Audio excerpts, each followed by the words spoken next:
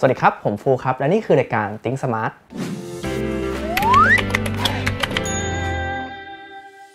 หัวข้อที่เราจะมาคุยกันวันนี้ก็คือ เข้าใจง่ายๆ กับผู้บริโภคแต่ละเจเนอเรชันงั้นเรามาทำความเข้าใจในแต่ละเจเนอเรชันกันเลยครับ 1. Baby Boomer เกิดในปีพศ 2489 ถึงปี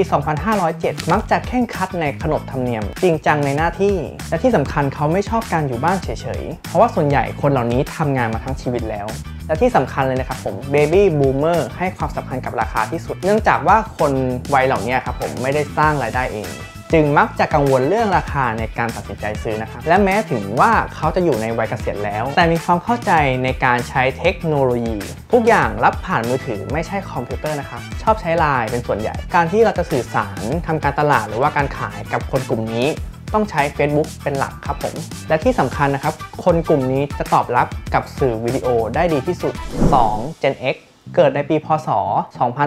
2508 ถึง 2522 ซึ่งมีความเชื่อมั่นในตัวเองสูงมากๆเลย รักความก้าวหน้า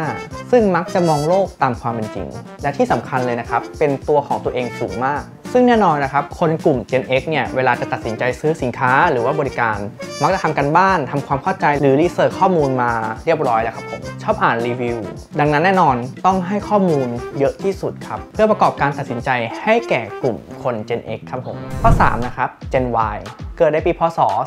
2523 ถึง 2540 จะมีนิสัยกล้าแสดงออกความคิดเห็นของตัวเอง ซึ่งคนกลุ่มนี้นะครับชื่นชอบความท้าทายเป็นอย่างมาก และเชื่อมั่นในตัวเองสูง และมีความทะเยอทะยานเป็นอย่างมากครับ มี work life balance เพื่อสร้างสมดุลเวลาให้กับตัวเอง เป็น generation ที่มี community ของตัวเอง เช่น Facebook TikTok Twitter หรือ Instagram